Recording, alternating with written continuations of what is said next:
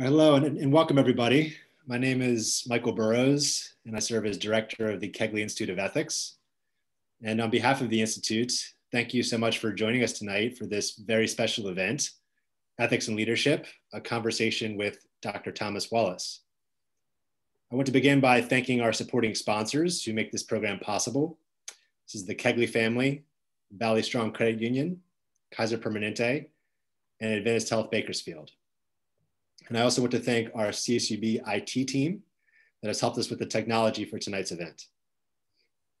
So a few words on, on just the origin of this event and the Ethics and Leadership series. Um, we organized this conversation with the aim of considering with an established leader, both the challenges and importance of ethical leadership. Learning directly from ethical leaders who face challenges and still lead with an ethical vision can be both enlightening and beneficial for our own careers and development as persons and leaders. And so we're very grateful that a uh, longtime leader on our campus and in our community, Dr. Thomas Wallace, has agreed to join us tonight and to share his insights and experiences.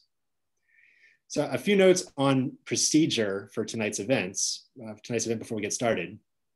So I have a few preset questions for Dr. Wallace that I'll ask him and we'll discuss. And Following that, I will moderate a Q&A session with you, our audience. Uh, for your questions, you can submit them via the Q&A function in Zoom, and there's a Q&A tab at the bottom of your Zoom screen. And no, you can submit questions at any time. Um, you don't need to wait till the end. And so if you'd like to get your question in the queue, something pops to mind that you think is interesting, feel free to um, uh, pop a question in there, and that that means it'll be waiting for me when we get to that section of the event. And also, if you're a CSUB student, um, feel free to note that too. I always like to kind of highlight some questions from our, our student community um, when possible as well. So with that, um, I'm honored to introduce our guest. So Dr. Thomas Wallace is Vice President for Student Affairs at California State University, Bakersfield. He is a campus and community leader and a noted lecturer and facilitator on topics such as diversity, leadership development, and student recruitment and retention. Dr. Wallace earned his PhD in educational leadership from the University of Mississippi and has received numerous awards, including the Curulis Award for Outstanding Service to Students at the University of Nebraska Omaha, the President's Award in June 2018 for Outstanding Contributions to CSUB, the Unity Award from the CSUB, CSUB Black Student Union for contributions in promoting diversity and collaboration. And he was also inducted into the University of Mississippi Distinguished Hall of Fame amongst many other awards that we wouldn't have time to list because Dr. Wallace has received many awards throughout his illustrious career. I wanted to, for more on Dr. Wallace's background and approach to leadership, I encourage you to listen to our most recent podcast on the Kegley Institute of Ethics podcast uh, called The Ethicist Corner. And that podcast is available on all major podcast platforms. And our most recent episode features a conversation with Dr. Wallace that will echo some of the themes from tonight. So with that, uh, Dr. Wallace, I want to say thank you so much for, for joining us tonight. Thank you, Michael. It's an honor to be here. So I'll jump right into it. Um, Dr. Wallace, the, the topic of our conversation tonight broadly is, is ethical leadership. And I'm wondering to start, you know, who for you in your life or from afar um, has been a particularly influential exemplar of ethical leadership? Um, are there people that have kind of been examples for you that have guided your your view of ethical leadership in your life and career? Oh wow, there there are many, Michael, but I, I will start with my my grandmother.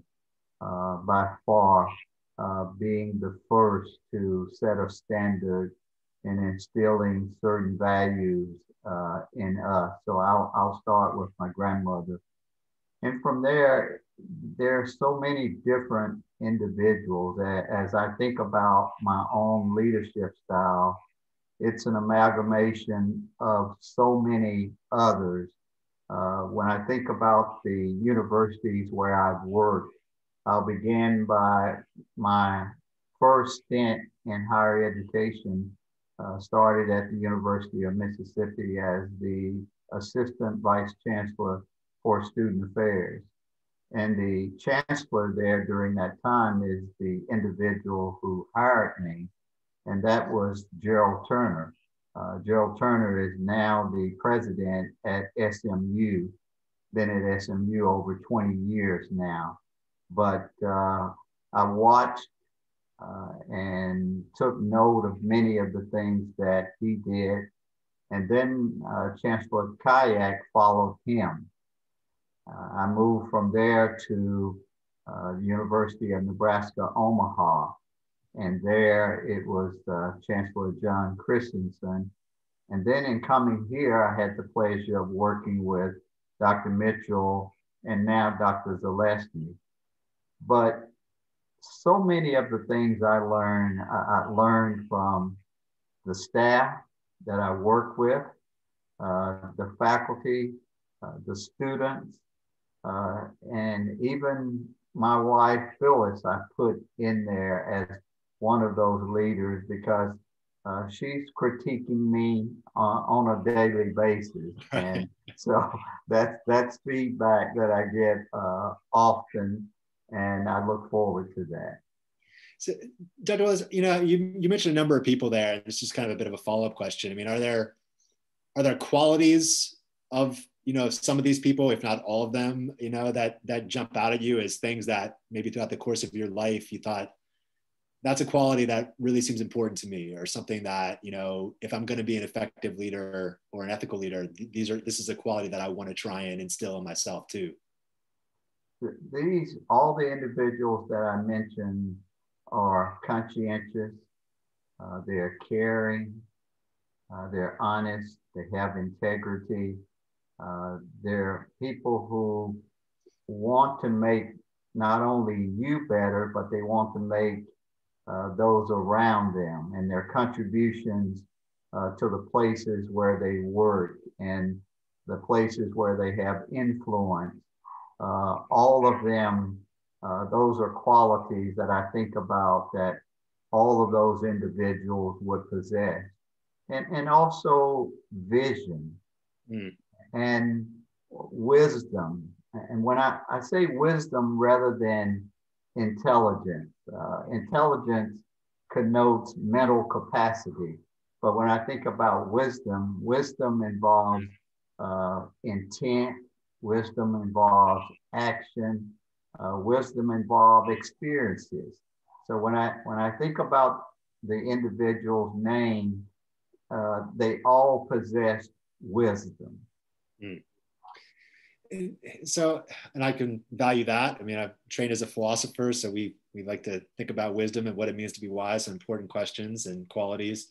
Um, you also mentioned integrity in your response. And you know i'm thinking this next question about the, the role of ethics in being an effective leader right? So there's lots of qualities a leader needs to have being able to get things done being able to manage projects being able to work with with followers and collaborators in your view, what's the role of ethics in being an effective leader? Ethics should guide, should guide us in everything that we do, uh, our decision making, uh, how we interact with others, how we treat others. All these things are, are very important. Uh, you know, I used to hear people say, do unto others as they would have you do unto to you. Well, I heard a different, I heard that put in a different way that somewhat stuck with me, and that do unto others as they would have you do unto them. Hmm. And I thought, you know, there's a lot in that phrase that I had not heard it that way, but when I heard it, it makes sense because the way that I might treat myself is not the way that you would treat yourself. Mm-hmm. And so I've got to think about each situation individually and how one is affected through not only my actions, but the actions of others. Mm. Interesting. So, Dr. Wallace, you know, on the session tonight, um, we have lots of students, um, young professionals, people from lots of different backgrounds. And, you know, for this question, I, I want you to imagine that you're, you're giving advice as sure you've done many times before, to young aspirational leaders uh, on our campus or in our community. What, what two to three areas of advice would you give them in order to become and serve as effective and ethical leaders um, in an organization or in our community? Is there advice you could you could share for those those persons? I, I think that we need to approach uh, decision making with an open mind. uh, that as you are interacting with others and you're trying to make decisions, always seek to hear from others uh, the opinions that could be different from yours. And before deriving at a decision, please engage others to help you get to that point that you can understand. But also understand that there are others involved. I think about uh, Gale Sayers' book, which is I Am Third, his autobiography is I Am Third. And he said that there are, are three things that we should always consider in making a decision. And he said, who is involved, who is affected, and what role do we play in both of those? Mm. And I think it's important as we are interacting with others that we think about all three of the things that Gale Sayers listed in his book. Mm. So I want to transition here a bit. I mean, this is, I think, probably also something that I, have I've been asked by young leaders too in these types of sessions. And, you know, we're dealing, we're living in challenging times right now on several fronts. And I'm wondering about, you know, with your career as a leader, can you give an example of a significant challenge or setback that you faced um, and how you how you met that challenge, how you overcame it? I think sometimes our struggles are as important as our successes, right? Always. Uh, we need to learn from every situation that we're involved in. And sometimes it's not learning what to do, we also learn what not to do. Mm-hmm. Uh, I, am going to answer your question and I'm going to take it out of the professional realm and I'm going to move it to the personal. Mm. Uh, when my when my mother was 55 years old, she had a heart attack and stroke. And she was in the hospital for 15 days. And she was in a coma during that 15 day period. And I have a brother, so it was the two of us that were at the hospital during that time. And so the doctors approached us and said, you know, we've had some conversations and that we think at this point uh, that we need to probably, you know, take your mother off of all of the equipment. At this point, we don't see any hope in her making it. Mm. And will we consent to do that? And that that was uh, that was a tough decision because we started seeking advice from her brothers and sisters, uh, from others who were close to the family. And as you could imagine, it, it was split, and that we had some saying, It's been 15 days. What do you think is going to happen in 15 days? And at this point, why don't you just let go? Then you had others who were saying, no, no, don't do that. Uh, that's not what she would want. And so, and trying to make those that decision, my brother and I had many conversations. And finally, we decided that, okay, we're going to go against what the doctors said. Hmm. We're going to leave my mother as she is and we're going to hope and pray that things will get better. And we were limited. We were only able to go to her room three times a day. But each time we would go, we would spend time with her. And on that 16th day, and rubbing her hand in the room, her eyes opened, and my mother actually came out of the coma wow. during that time period. While I learned a couple of things there, I learned that sometimes you've got to make a decision that goes against what even the experts say is the best thing to do.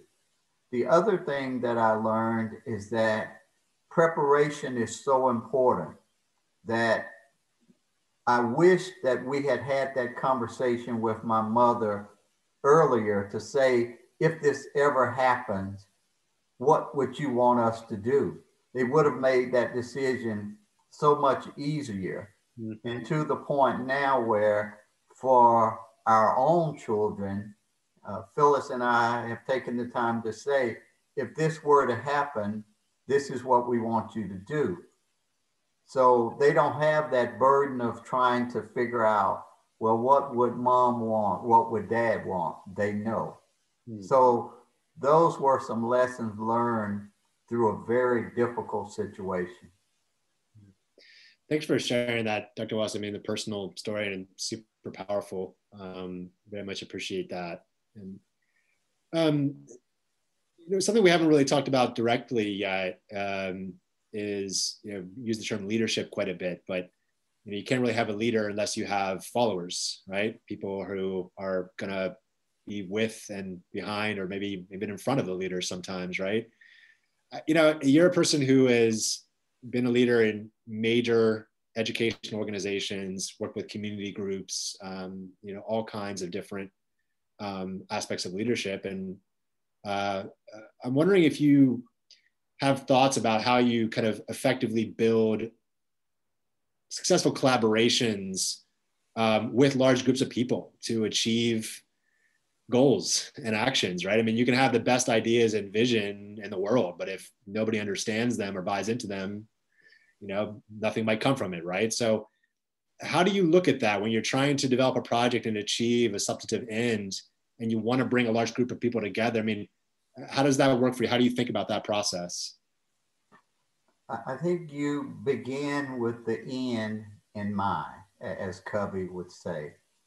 And then you begin to gain input from others to help you in deriving at that decision.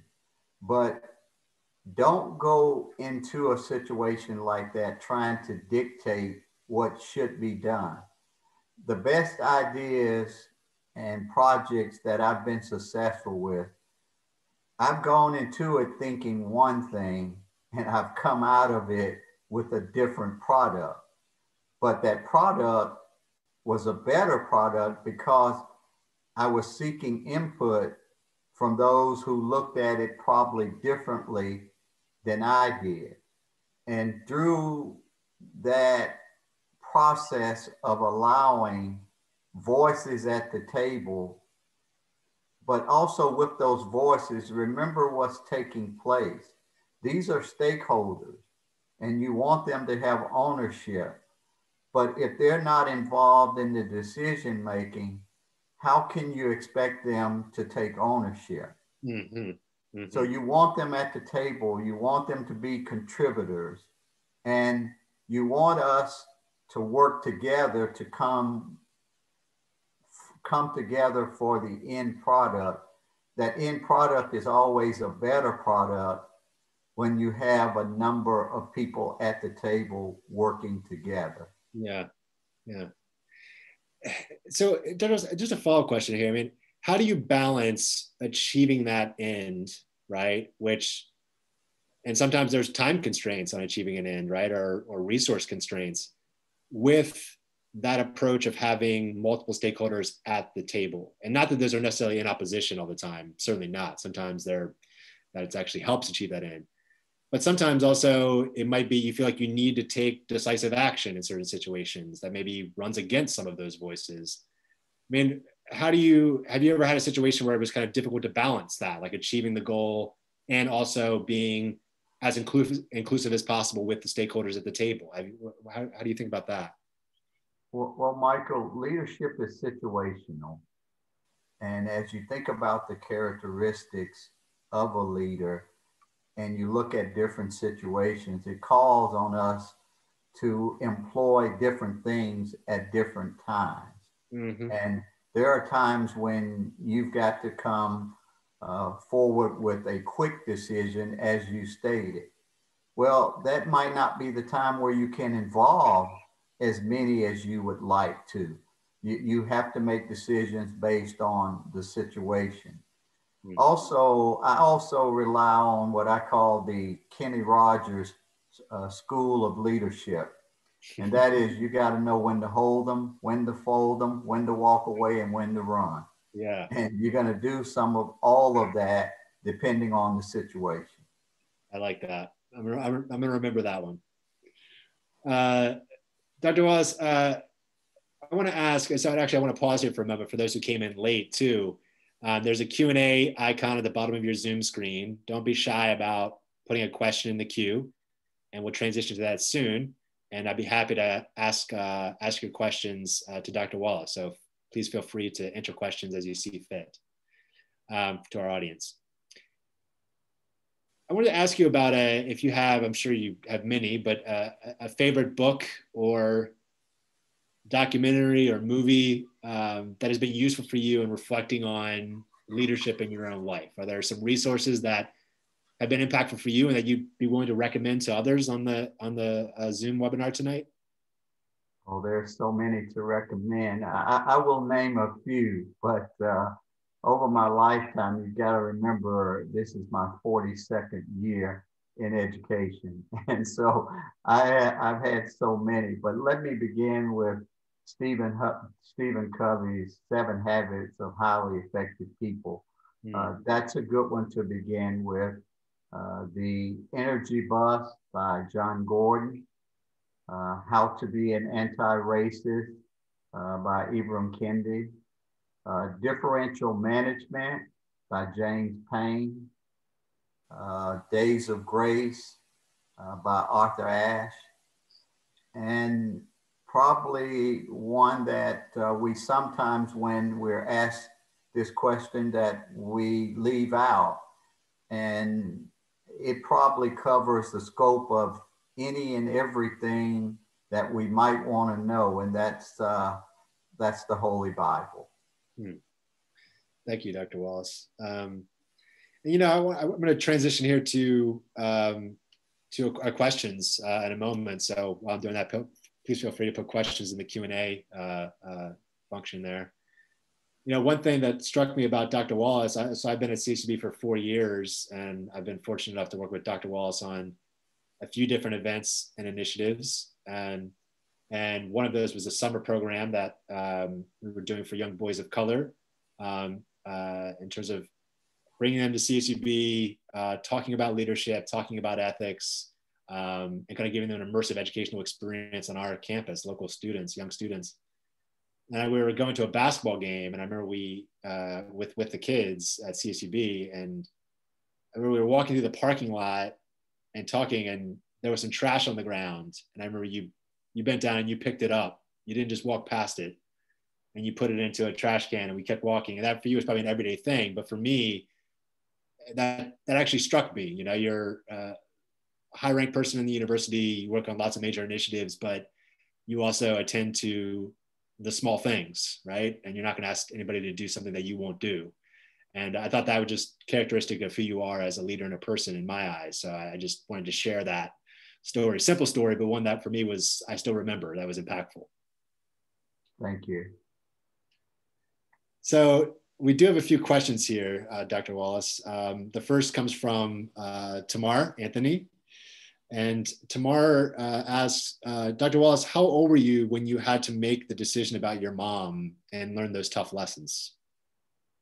My mom was 55 at the time.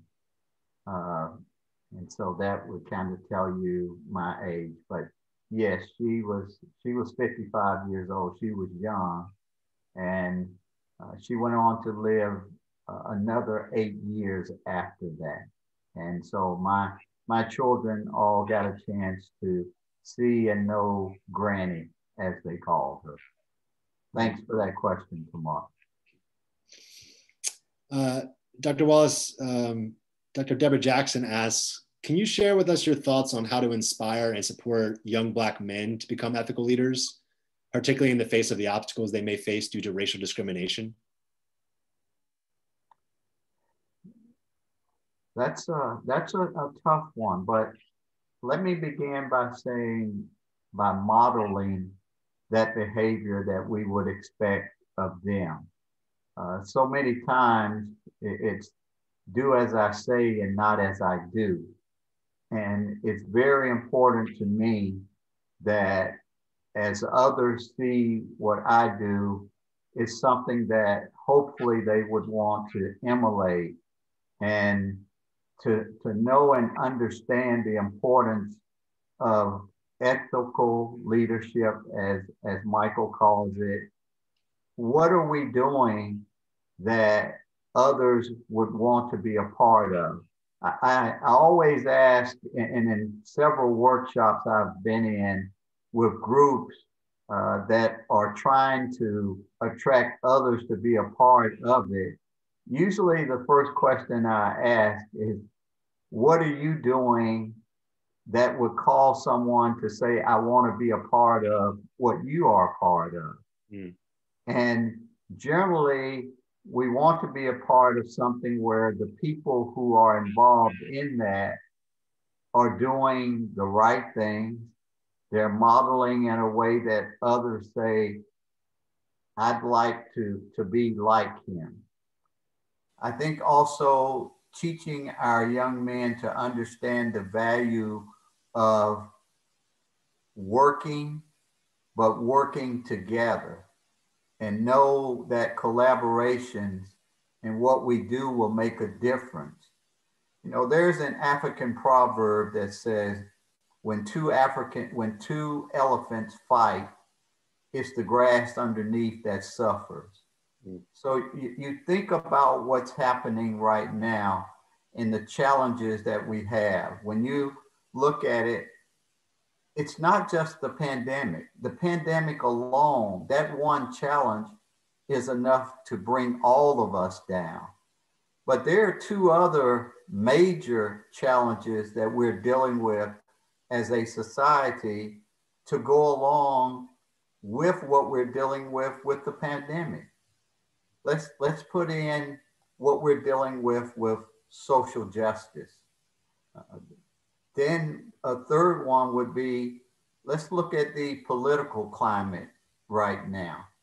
So put those three together, and right now, as a society, we've got a triple threat. If we were in basketball, they got a move that they call the triple threat.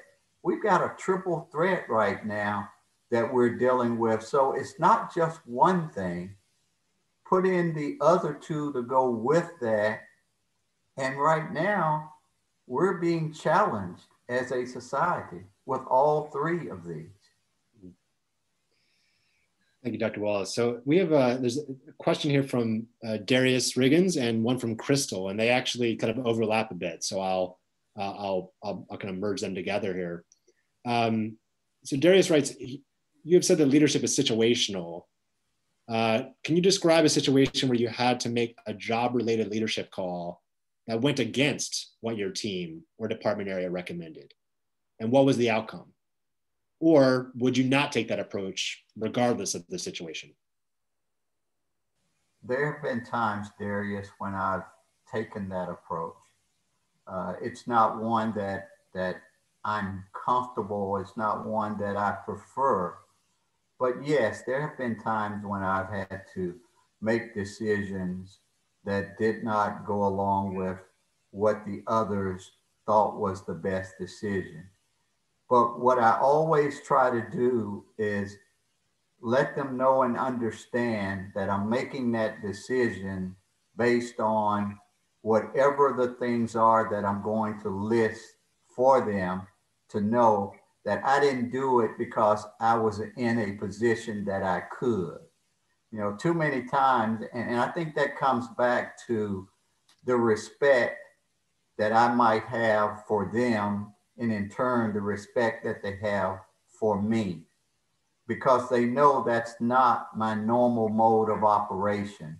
So I think that comes into play is what is the relationship that you have with those that you're working with that they know you're not making that decision because you can.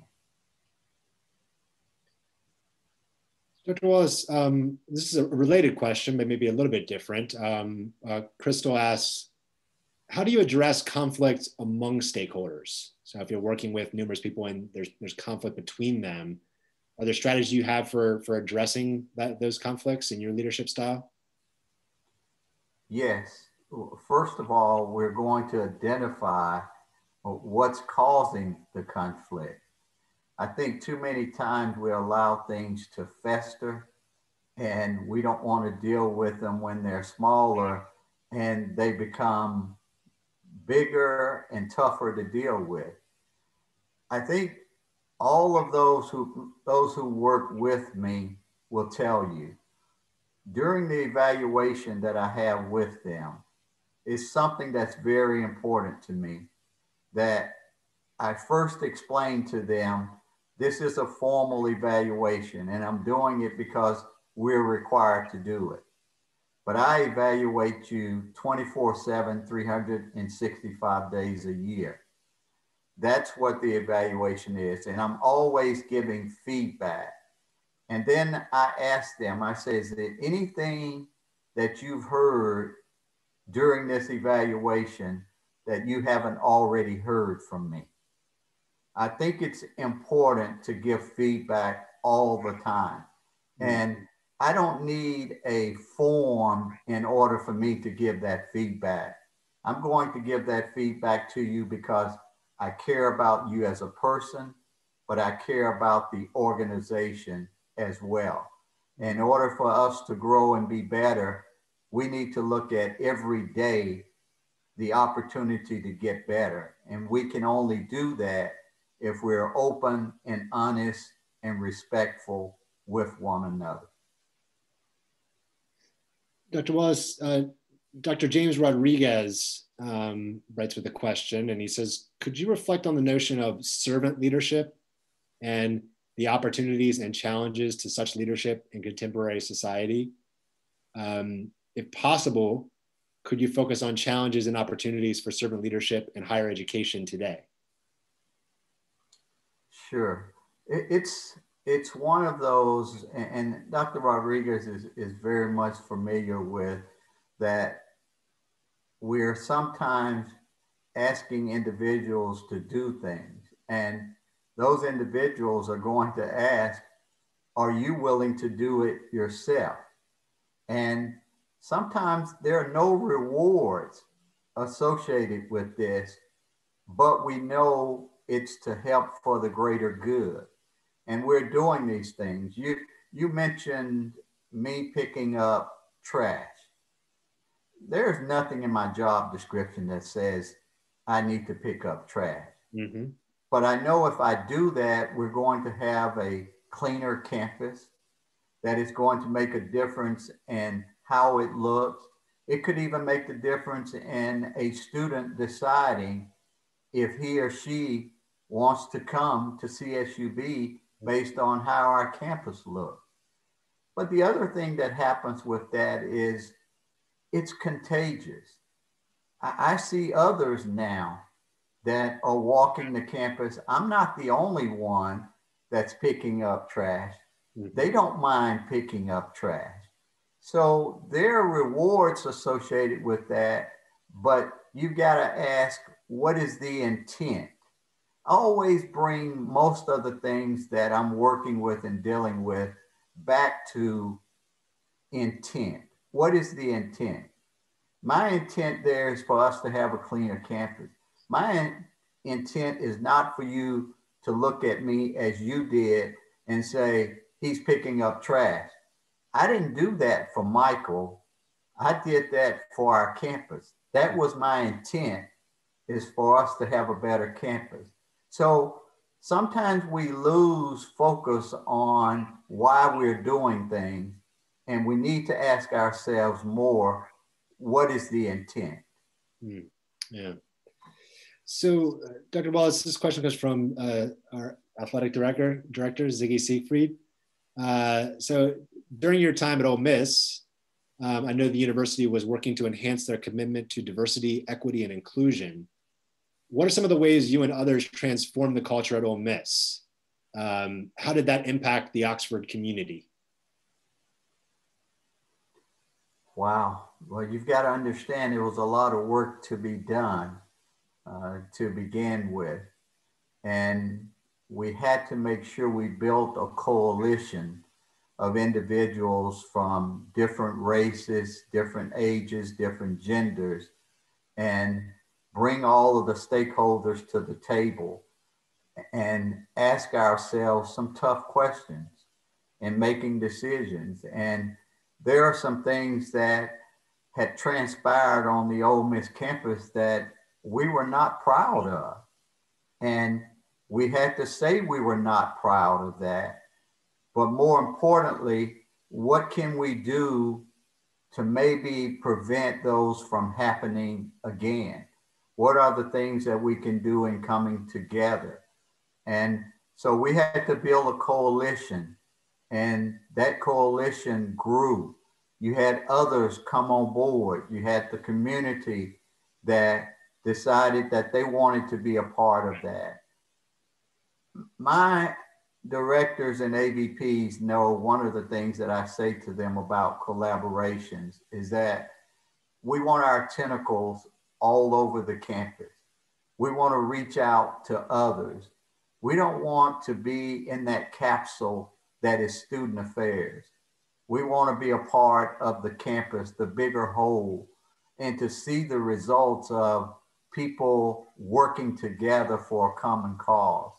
That's mm-hmm. what we were able to do at Ole Miss. That's how we were able to increase Black faculty and staff, increase the number of students who were attending. But you have to make some tough decisions and you have to be intentional at where you're trying to go and what you're trying to do. And know that not everyone's going to be happy with those decisions that you make, but you've got the core working together because we know we all will benefit. And sometimes we don't see those benefits immediately, but if we understand delayed gratification and to know that that will come, sometimes not on our timetable, but it will come in due time.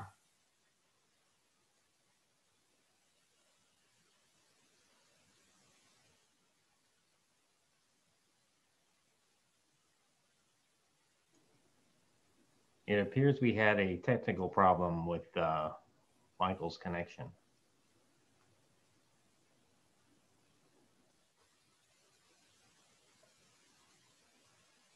Maybe I said something Michael didn't like. I don't think that was it. Um, I'm going to see if he's uh, he's definitely not with us right now. Let's see if we can get him back.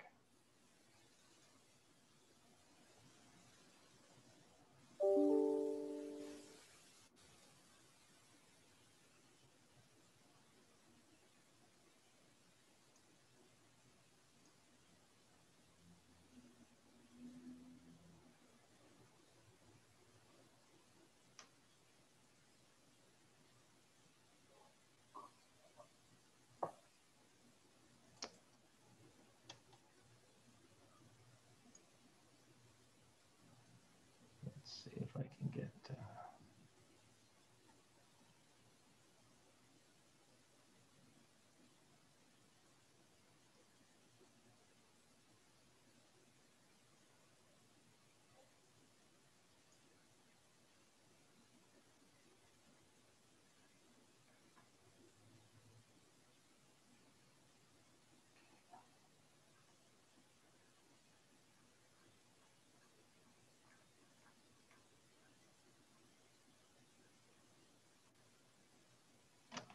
We'll give him a little more time here to uh, log back in. He might have had a technical problem.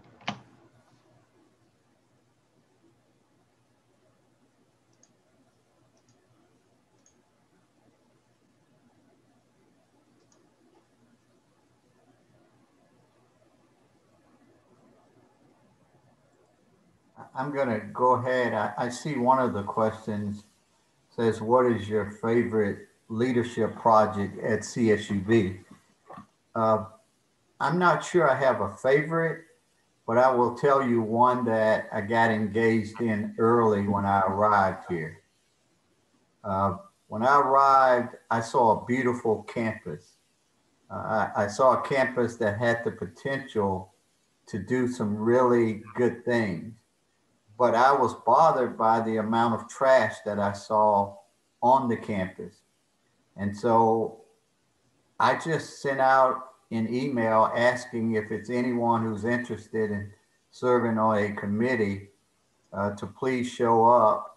And we had probably 35 individuals show up for that first meeting. And those 35 individuals were committed to making our campus a, a beautiful campus.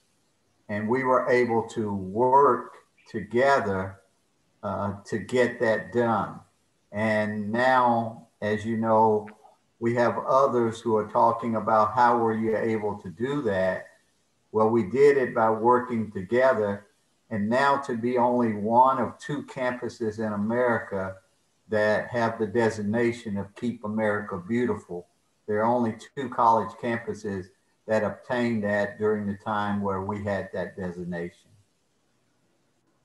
Welcome back, Michael. Thank you. So had a slight technical difficulty there, but we're back. Uh, so, and I see some questions in the queue here. So um, we have one from uh, Ana Santos here. Right? And Ana asked, um, Dr. Wallace, thank you for sharing your time with us tonight. Um, how do you decide when to go against an expert's advice? Well, you have to look at a number of factors, Ana. You know, one is uh, why am I going against that advice? Uh, what is the end result? And remember, I used the word intent. What is the intent? And what is that individual's intent as opposed to what yours might be?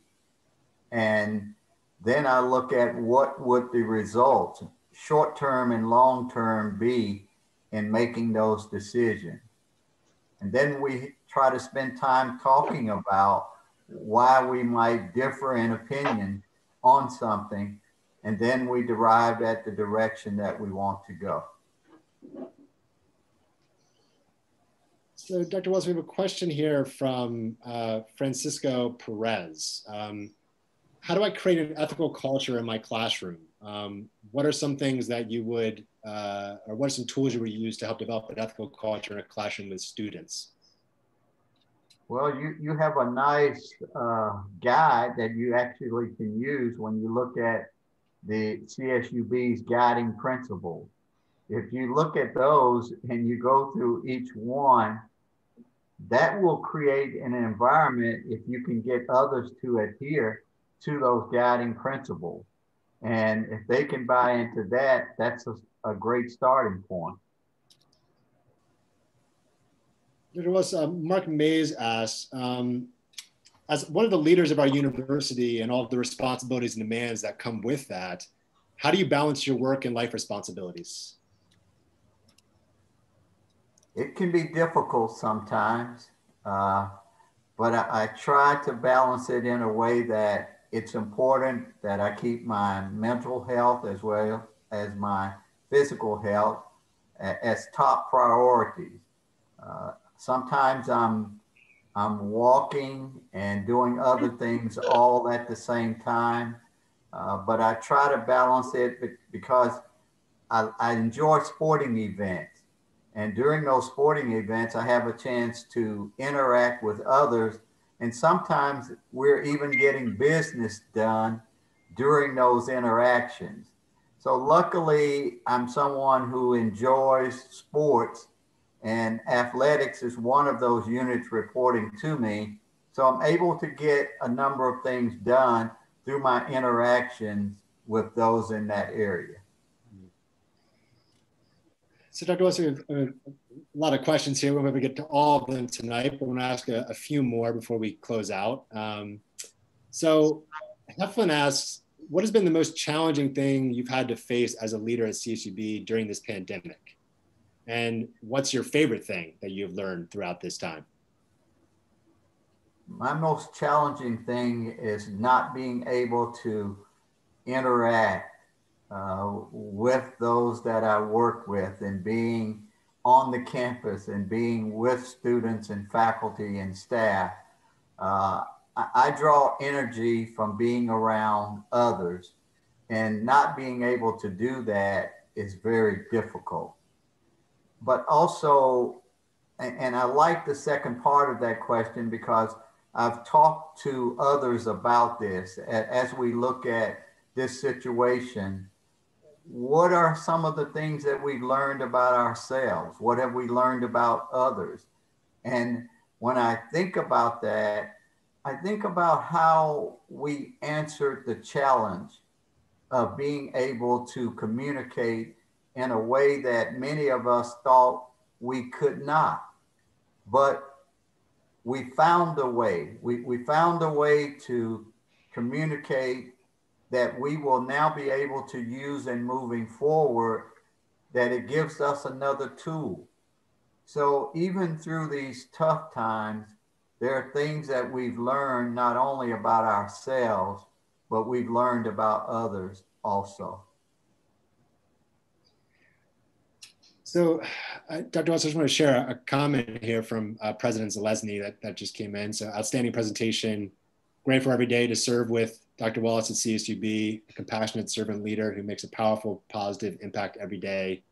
Thanks for putting CSUB on the map, Dr. Wallace. You are an inspiration. Just wanted to share that, that comment from our president, Dr. Zelezny. Thanks. She's, she's very kind. Dr. Wallace, this question comes from Ukechi, and I, if I'm mispronouncing that, please forgive me.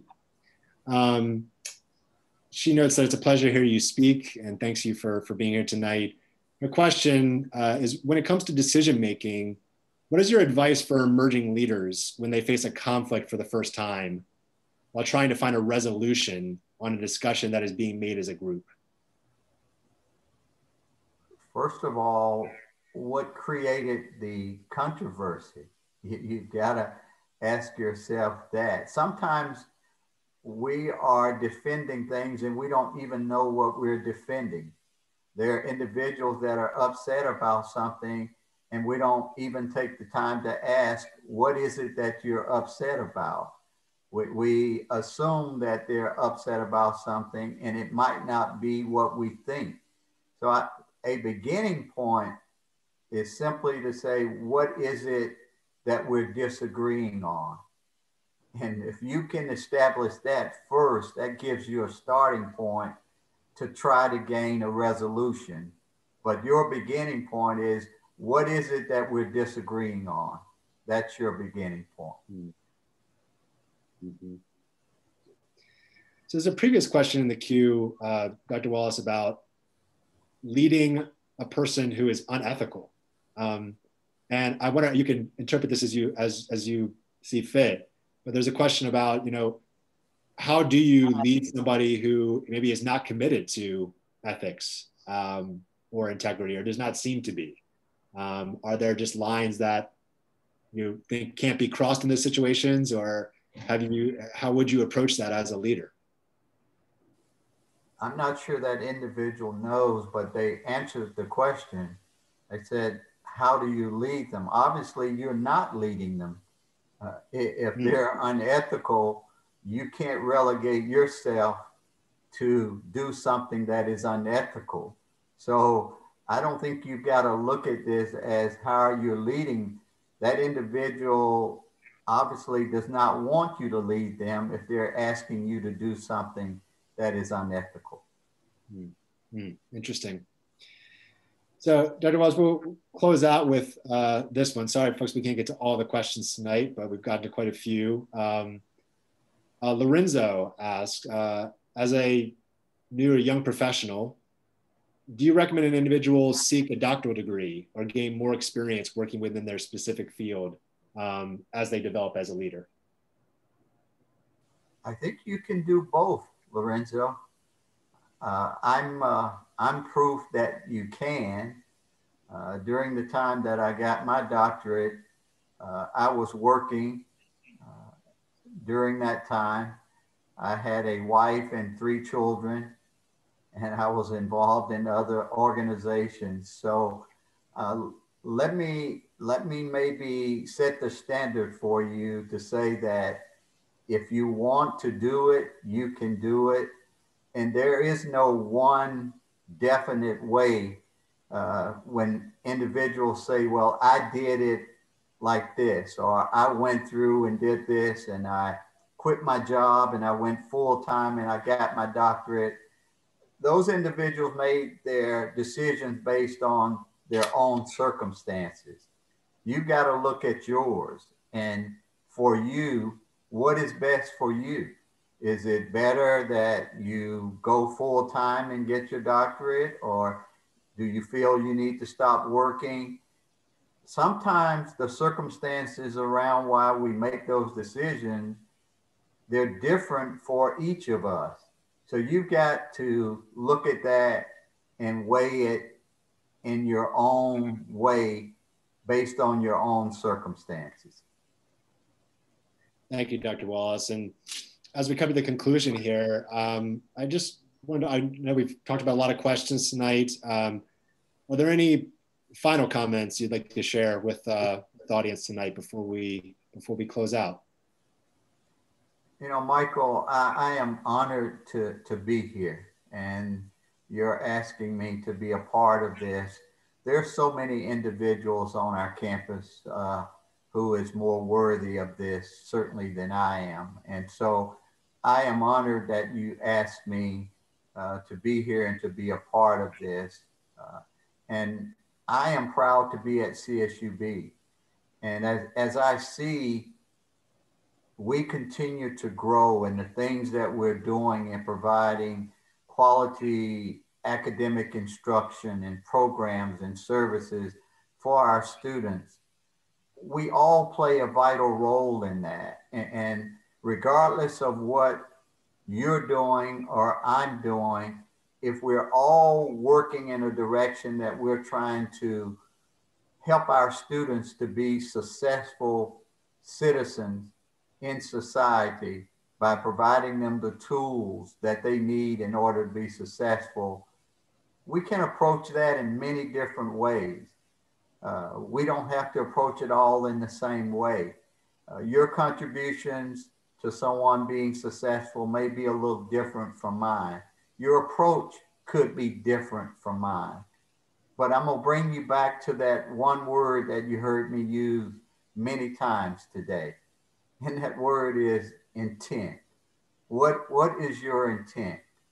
And if your intent is honorable, if your intent is to help our students, then we can get there. And we don't have to go with a cookie cutter model to do it. We can do it in many different ways.